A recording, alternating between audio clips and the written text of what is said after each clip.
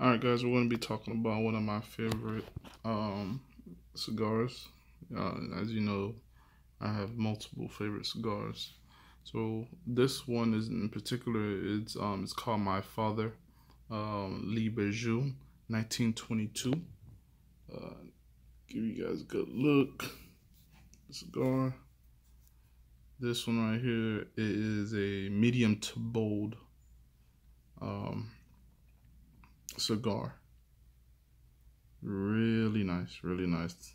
Um, so so let's get into it. So this cigar was actually um, number one for 2015 um, cigar of the year, um, and as well um, um, it's definitely a Nicaragua cigar, and um, and the wrapper is um, Habano Oscuro.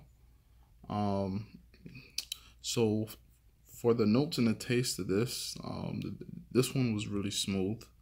Um, really smooth, really smooth. And the flavors was um, um some dark chocolate, um, um a bit raisin, um, that definitely leather, um, and it's really sweet finish, you know, towards your palate. Like this one and if you guys know me, um, I I like a smooth cigar and a bit sweet to it. It definitely has to have some type of flavor. And um, if you guys looking for that, definitely go with this.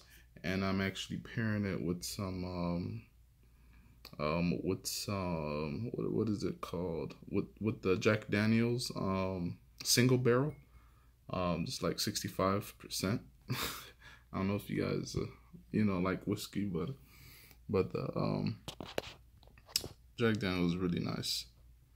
And um, my cigar bar is it's it's called this the um, Casa de Montecristo. Definitely check it out if you guys have one near you guys. And um and yeah man, this this cigar is it's definitely official. My father, definitely official, definitely official. All right, guys. Um, you guys know that I'm really short, straight to the point with it. You know, I don't like to make these long videos. You know, talking about nothing. Um, you guys know the taste. Uh, you guys know it's medium and bold. You guys know the name. Um, you know, keep in mind that it's um number yeah that, that it was the number one for 2015 cigar. And um i'm surprised that um um it wasn't number one again. But but yeah guys have a good one